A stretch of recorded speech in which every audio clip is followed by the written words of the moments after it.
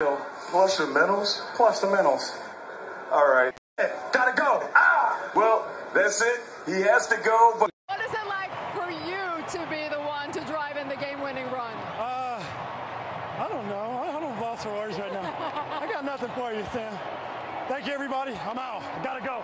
He's out, guys. Wall, he reaches up, he can't make the play, and he fires his glove towards the ground. One run is in. Adam Jones may have an inside the park home run. He's being sent. Here's the throw to the plate. He is safe at the plate. That's it. Runner coming home. Here comes the throw. Morgan, big collision. He holds on. Out at the plate. Hayes is down, still clutching the ball. And Volstad throws behind him. He's charging the mound. Morgan's coming after him, and the Marlins are pummeling him. Oh, goodness. Morgan at the.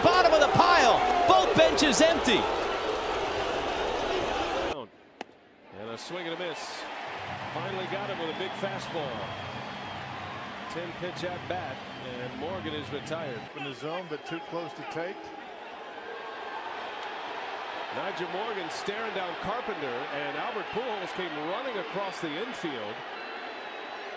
And Albert Pujols took exception to that, came running across the infield.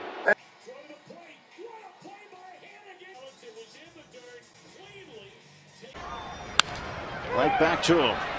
He goes to second for one. Valdez quickly to first. He got him. Double play. Bang, bang at first base.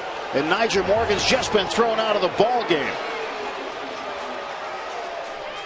Tim McClelland has just Morgan, and he's going to make the catch on the warning track. Two outs. Well, he's been getting a workout this last inning and two thirds. Four fly balls, and they have really tested his range. Here's the end action we're talking about right here.